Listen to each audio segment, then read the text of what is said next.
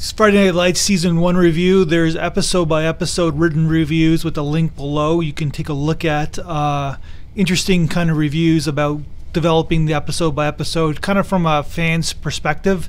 I'm a fan of the show, but I'll try to take a spin at being a non-fan of the show.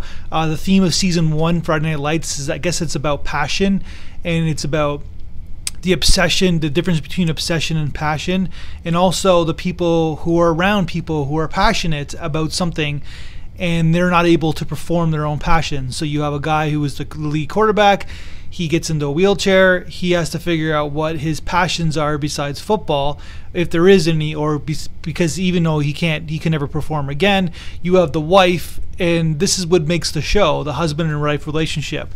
And I don't think they set out to do this uh, originally in the Friday Night Lights. I, I have a feeling that they didn't, but this is a pretty dynamic uh, uh, marriage relationship, and this is what makes the whole show because it's very realistic and it's also very entertaining and it's just very true and genuine. And the Kyle Chandler and Connie Britton, who play the husband and wife, they bring out these characters into its own fruition, and you see the kind of ins and outs of what a passionate coach goes through, and you kind of root for the guy, even if you're not a football fan.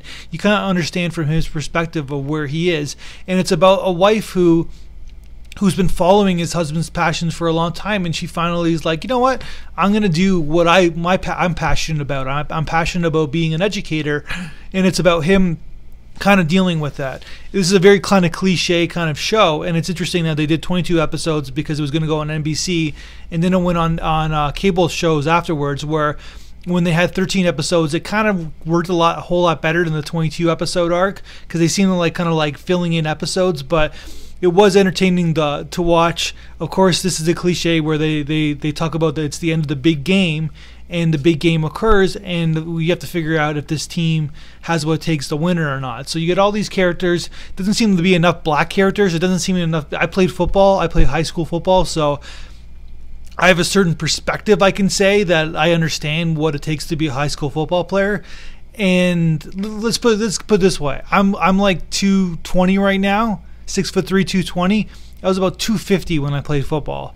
And all these kind of characters don't really seem to be worthy or like they don't seem to be juiced up to be basically playing football. But, you know, it's a white show too. There's not enough black people as well.